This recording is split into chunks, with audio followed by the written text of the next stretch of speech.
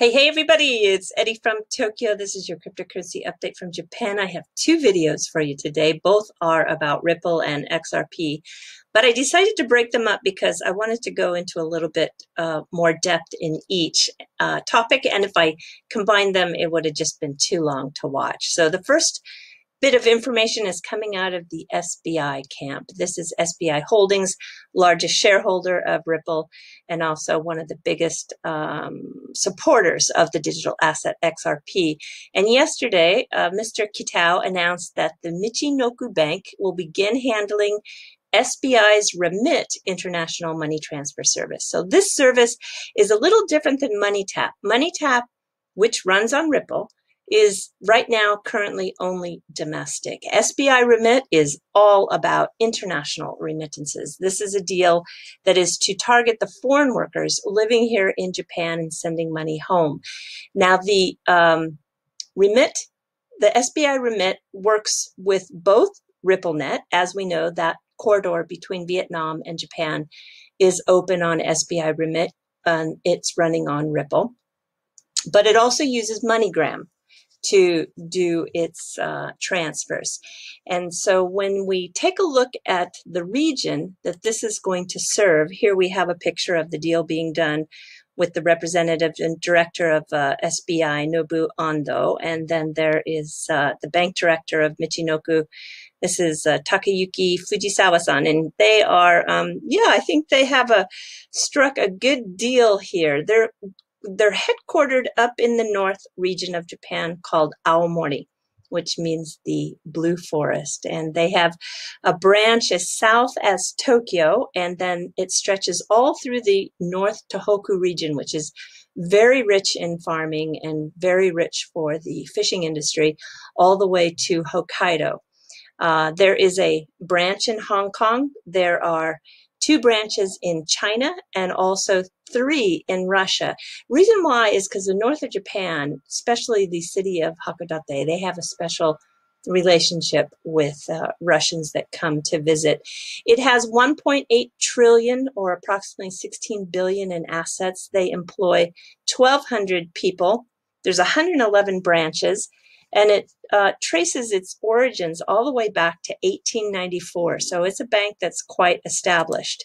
And if we take a look at the release, I just want to show you here that it is uh, Mr. Kitao's mission to provide financial services centered on remittance to foreign residents, actively adopting new financial technology such as remittance using Ripple's distributed ledger technology.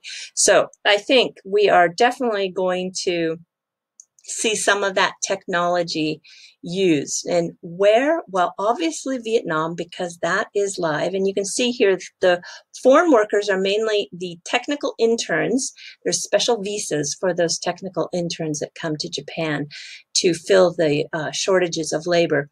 And they are from various countries, including Vietnam. So we know that is a live corridor with RippleNet and China which will probably use MoneyGram. That is my guess. And then the Philippines, you can see here, there is a need for the hometown remittances, which means this is an outward bound back out of the country to their hometowns. And I think, I think you're seeing here, um, there's going to be an announcement of ODL coming very soon with Vietnam.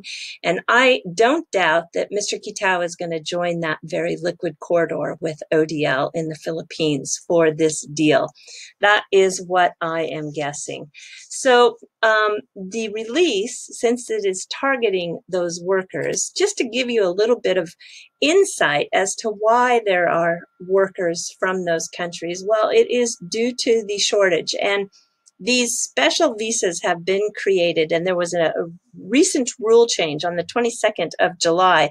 It's going to go into effect. I think um, there are some 32,000 no no no no no we've got we've more okay 32,000 foreign workers that are in the farming sector. Okay, now that's not all up in the Tohoku area. That's the that's a countrywide number, but there are just thousands and thousands of people that are waiting to get back into the country that left because of COVID, and they needed to roll back those rules. This is a This is this is yummy asparagus that comes from that uh, north region.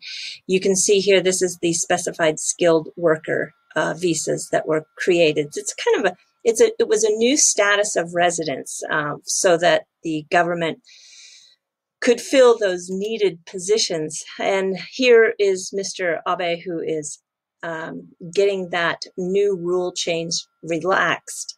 It's uh, to let this um, let these workers that need to come back in in, and I think it goes into effect in August. So we'll probably see the workers arrive just before harvest season again, which uh, is a big deal up in this northern area. So this is where Tokyo is, where my mouse is.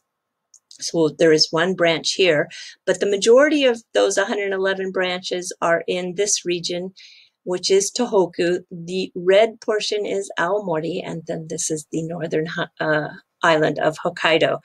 And I think when we uh, take a look at what kind of region this is, yeah, I don't know if you know, but this is Aomori. It just gets pummeled every winter with heavy blizzards. It's because it's one of the snowiest major cities on the planet due to these Siberian winds that come across the warmer waters it produces. this is like 22 feet of snow. Uh, it's just, yeah, it's enough to bury a two story home, that is for sure. But the springs and the summers are just glorious. This is a picture of the Hirosaki Castle in Aomori. And look at that with the uh, snow covered mountains in the back. It's just beautiful with all the cherry blossoms. And coming also from this uh, very agriculturally rich area, you have the famous Aomori apples. Um, this is a big export for Japan. But there's also asparagus and garlic, lots of rice, lots of cherries, and a very serious fishing industry. So those workers are helping get that work done. this is how artistic Aomori is. They do something very interesting with different varieties of the rice that's grown to create these images in the rice paddies themselves. And then they build these stands where you can get a little bit higher and view the artwork that's done. I just love it. This whole region is really artistic. I have done a story on the music that comes from this area with the very unique sound of the Tsugaru Samisen. You can find that on my Coil blog. Uh, it's yeah, it's really it's my favorite traditional music in all of the music that comes from this country. But the rice paddies, I haven't seen this in person, but I think it would be a fun thing to go see. Now, if I um, show you the Nebuta Festival, this is their August Matsuri, which lasts for five days and they build these unbelievably beautiful floats that they take out for the evening strolls for five nights in a row. It's a big, serious competition to see who wins. They are all uh, done with wood and wire. They're two and three stories high. They're just massive and very tall you can't really see the scale when you look at a picture like this, but I thought this was a good example to show you of the detail that's done. So each one of these is a paper, hand painted paper um, section that is attached to this wire, which is then built on a wood frame. It takes, they, as soon as the festival finishes, they take a couple days off and they start planning and building for the next year. So they basically take one year to build them. And I'll show you another version of that. So you can see this is all individual paper, paper panels. Ah, it's quite something.